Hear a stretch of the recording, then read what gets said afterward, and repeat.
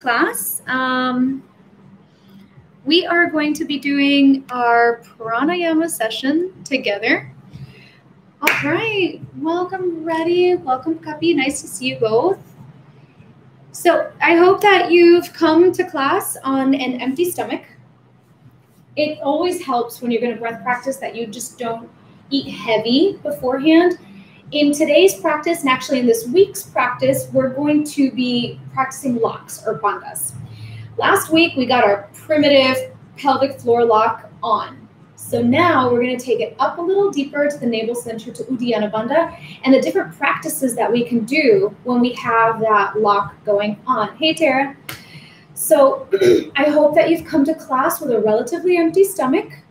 If you do have some food, something light, then that's okay. If you ate an hour or two hours ago, that's ideal. Good job. All right, guys, I'm gonna start by sitting up on a block. You can sit up on your chair. That works perfectly fine. Anything that makes you feel open right here from the hip bones to the rib cage. Anything that opens that space. If you're feeling a little, you know, short or slouched, maybe put yourself some blocks, put some pillows, bring yourself up, up, up, because you need this space. All right. So welcome you guys. Give a few minutes, get people on, because I'm very excited to share with you today a few more locks, working more into the internal pressure of the abdominal cavity using the breath work. These locks are powerful. They kind of milk the energy or they draw the cerebral spinal fluid up towards the midbrain, which helps decalcify our pineal gland, which helps to regulate our melatonin and our serotonin cycles, which is our wake sleep. It also helps in general to regulate our nervous system. but in particular, locks, midbrain, pineal gland, just making that association. Now, we're going to welcome ourselves into our practice like we always do. Relax your hands, sit nice and tall. Feel free to close your eyes. And let's just take 10 breaths to welcome ourselves home. Inhale. Exhale. And we're inhaling through the nose exhaling through the nose.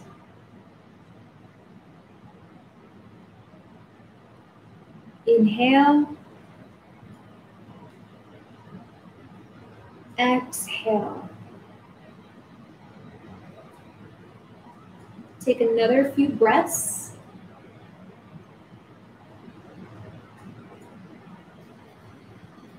And as you start to go inward, you start to elongate your breathing, inhaling a little longer.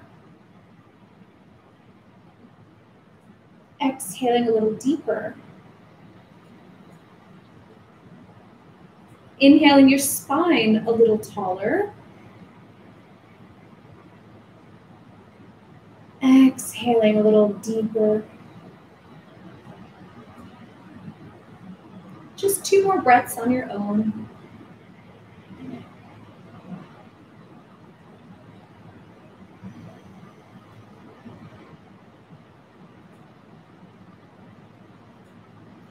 Relaxing your breathing, relaxing your hands, relaxing your shoulders. Let's just feel our body.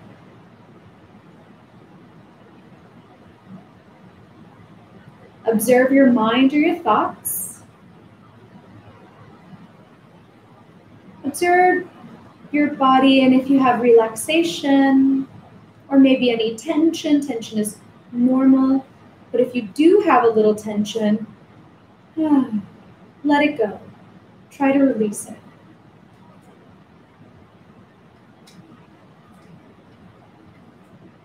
Now, very gently, we're going to open the eyes. And our breathing style of practice today is going to be Ujjayi. Ujjayi is breathing where we draw the air through the windpipe so that it's long and narrow. So narrowing the tube. When we narrow that tube, it really helps to regulate the blood pressure. So to do Ujjayi, follow along. You're gonna just sit really tall. You're gonna slightly nod your chin in. Don't overdo it. Just a little ding is enough. A little nod is enough. Now, start to breathe in through the nose really slowly. Expand your rib cage. And then when you exhale, also exhale really slowly, relaxing your rib cage and giving a little press into the abdomen at the end. Then we start again. Inhale nose, slowly. Expand the rib cage.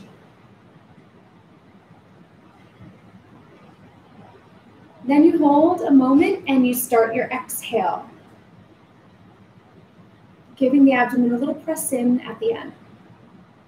Now, place your hands here on the abdomen and chest like you see me, and let's try it together. Breathing in, slow. Chin is nodded in. Expanding that rib cage, and then exhale. Squeezing the abdomen muscles backward. Continue with the work. Let's do five of these.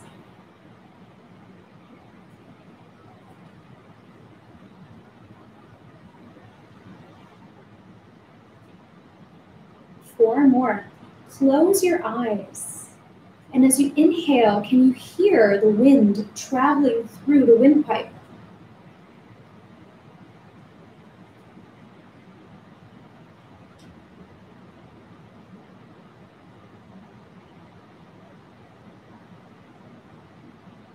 On your inhale breath, you want to feel both palms expand out.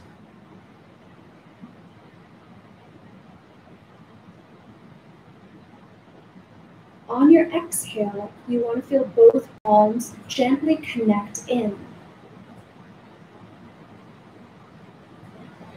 Two more breaths at your own rhythm, listening for that sound of wind in your ears.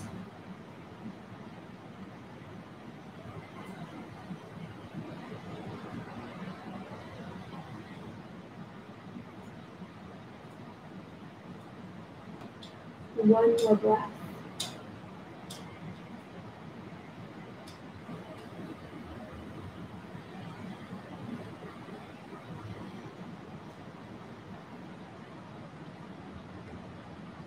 and briefly relax your hands.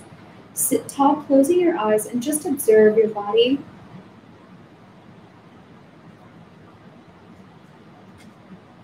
Notice the difference in your natural breathing rhythm. It's softer and lighter.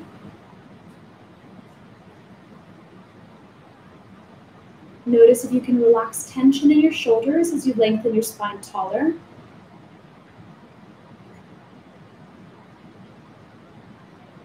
maybe notice if your mind is a little bit more chill or tranquil.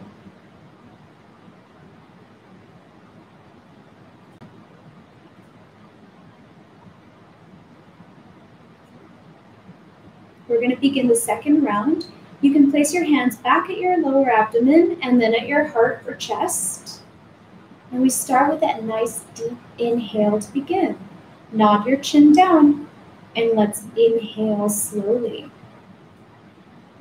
Can you feel the abdomen extend? Can you feel the chest begin to open? Get as far as you can, and then on your exhale, relax the chest. And press the abdomen inward.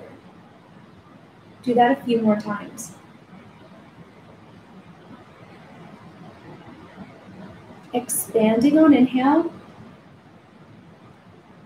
Exhale to melt the heart, melt the chest, and contract the rib cage, contract the abdomen. Let's do eight more of these. Inhale. And don't be shy. Take your fullest breath. Full, full, full, full. Then take your deepest exhale.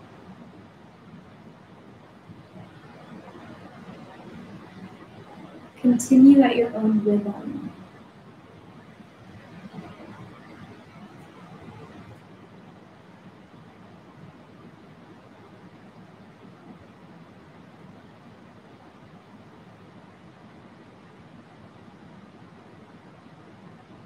As you keep going in this rhythm, listen inward. Notice that sound of the wind traveling through the throat. And notice the sound of the exhale versus inhale. Get intimately familiar with that internal landscape.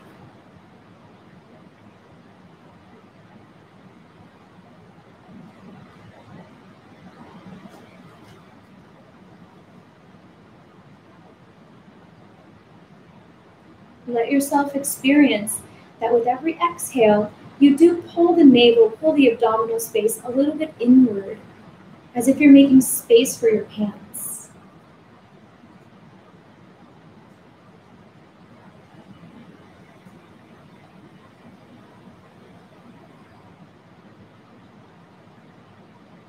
Maybe three more breaths.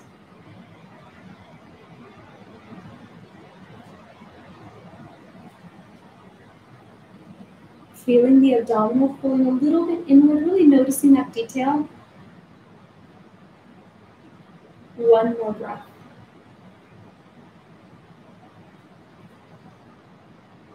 Exhale. Now exhale here all of your air. Keep pushing the air, keep pushing the air, keep squeezing out, squeezing out until the end. Once you're done, you don't have any more air to squeeze, hold your breath and simply pull your belly button in. If you can add mula bandha, which is that squeeze of the pelvic floor, then add that. For men, that's lifting the perineum. For, for women, that is squeezing a kegel and lifting up. Try to be with that hold as long as you can. It doesn't have to look like anything. Just feel yourself connecting. Belly button pulls back in. And just be there. I know that you're holding your breath. Keep holding your breath and just try to relax your body. Feel this connection as you make it stronger. And even if it releases, just reconnect pelvic floor and pulling abdominal wall back and see how you feel being with that. Let's stay another few counts. Let's say five Mississippis, four Mississippis, three Mississippis, two Mississippis, one Mississippi. Now relax the abdominal wall generously. So don't try to hold in, let it go. Feel the difference in the interstitial pressure of the abdominal cavity when you were holding versus when you release. It's healthy to do both. Our society really teaches us to hold your core, hold your core. But the truth of our anatomy is that it's healthy to release and contract. This is flexible tissue. We need to be able to relax and connect it as needed in our lives. Now, bandhas. So we're moving on to Uddiyana Bandha. This bandha is located just above the belly button. We're going to practice pulling that bandha in and up. We can easily get the bandha in. Everyone, pretend you're wearing a bathing suit on a boat in front of someone you want to impress. You pull in. Now, to pull it up, squeeze Mula Bandha, which is your pelvic floor, and go upward. And that will send it just higher than the belt line. All right, so now we're gonna practice that connection. Bikini on a boat, let's just keep it real. Okay, so we're gonna practice that connection. Feel free, if you're sitting cross-legged, extend your arms, place your hands down, elbows are straight. This creates a stop, like you're pushing down. We're going to use that stop to help emphasize the connection. When you become really well practiced, you will not need this technique. Now in the beginning, we're going to use it. Okay? Everyone take a big inhale. As much as you can. Keep going. Keep inhaling. Keep inhaling. Inflate, inflate, inflate. Now you're going to take a full exhale. To fully exhale, you need to squeeze out the extra air so you squeeze out. Once you do, hold your breath, please. Pull the abdominal wall back and in. And once the abdominal wall is back and in, you're going to Squeeze pelvic floor and lift. This creates a cinching effect around the abdomen, and it does take some practice. So, if at first holding is not possible and you release and then have to rehold, that's fine. Actually, that's a whole other practice. But just create that hold and see how strong you can make it and be there. Press down into your hands, hunch a little forward. Yes, so we're interrupting the energetic line and we're pulling in. Stay in the hunch, stay with the arms, practice pulling in, see how long you can. I'm doing this as I'm talking to you. Keep with it. This is all muscular training. There is an energetic component and there is a component in our central nervous system, but we're using it now to train the muscles. So train, hold, be with it, stay with it. Five. If you released pelvic floor, pick it back up, squeeze and lift the perineum, or squeeze and hold um, pelvic floor. And last few moments. And then when you're ready to, you straighten up your spine, release your shoulders, and you release. It's important to relax. Very nice. Now we go into the Uddiyana Bandha pull, and we're going to be holding it in, then creating these little out, in, out, in, out, in wags. So let's start with that full inhale. You guys ready? Here we go. Inhale everything. Inflate. Ready for that exhale that we squeeze out? Let's start. Exhale everything. Here, you're going to squeeze by pulling back at your abdomen. Hands long, press down. Start the hunch position, slight hunch. Hold your breath. I'm not breathing in and out, even though I'm talking, which is impressive. And you allow the abdomen now to go out and in.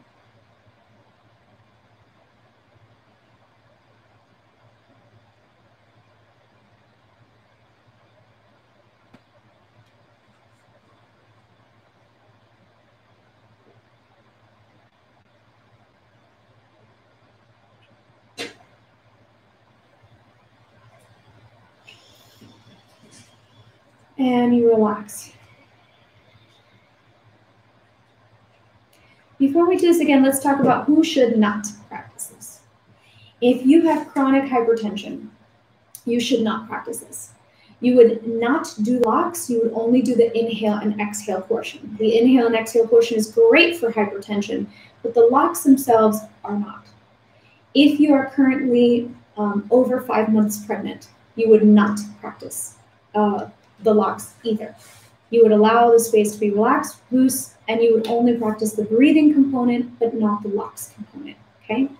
So those are the two, oh, if you have a bulging hernia, and the kind of hernia where you do have viscera coming out, you do have a little bit of intestine pulling through, you would also not practice the out in movement of the abdomen. You would only practice the breathing and the breathing out.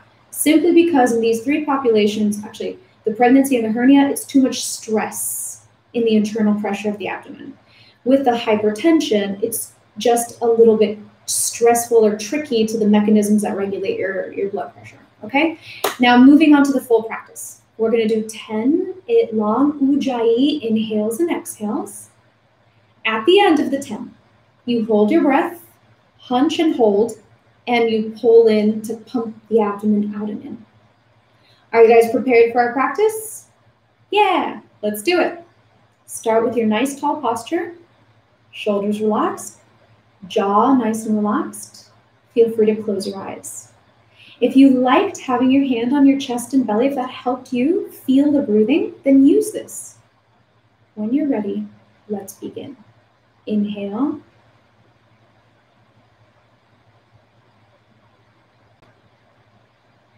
Breathing to your maximum and exhale slowly. Trying to listen for the sound of the ocean in that windpipe. And again, inhale.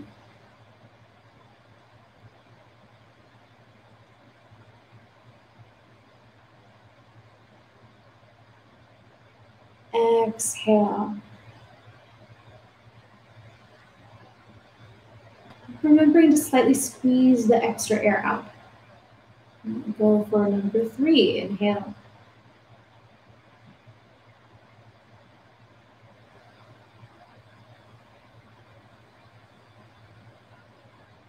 Exhale.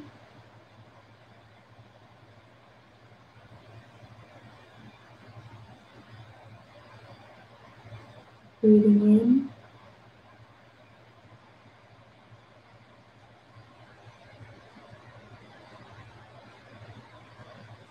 Breathing out.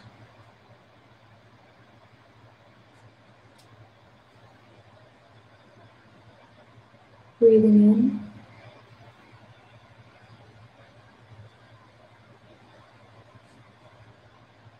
Breathing out. Five more to go, really elongating your breaths in and out. Inhale.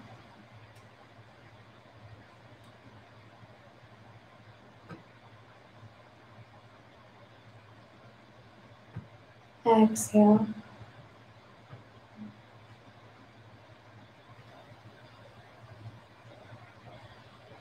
Four more. Inhale.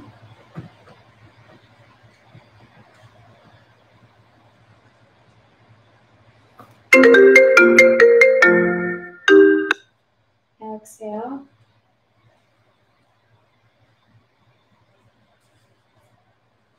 Three more here. Inhale.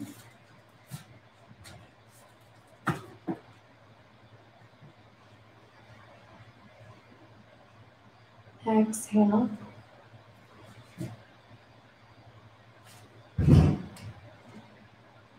Final two here. Inhale long. Take your time to fully breathe in all of your capacity.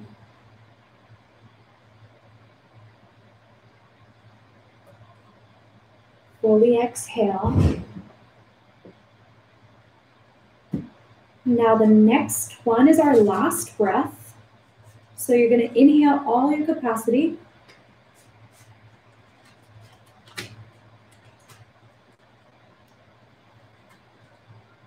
And here we're going to exhale all of our air. Remembering to squeeze the air out of the abdomen towards the end. Putting the hands long on the knees, elbows locked out. Once we're out of air, we're empty. We start to pull the belly button back and forward.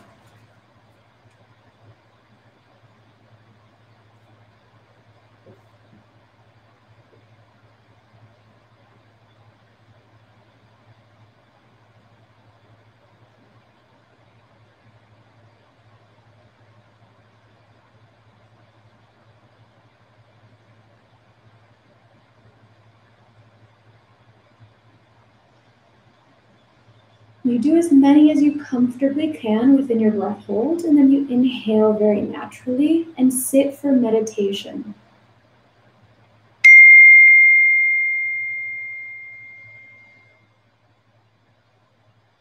You lengthen your spine and relax your shoulders. And just start by observing the sensations in your body. Only taking note, but not reacting. And observe any emotions you might be feeling in your chest or throughout your body.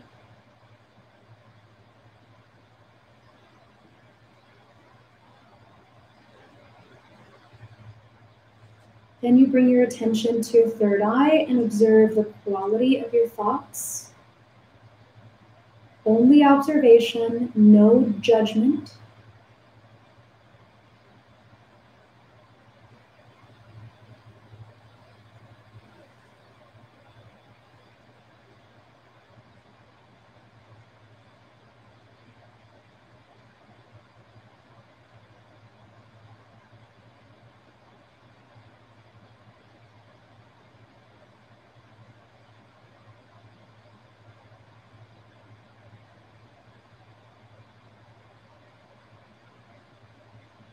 Stay with it. Stay with that internal peace. Remembering to step back and take the position of the watcher. So just watching the thoughts, letting them go.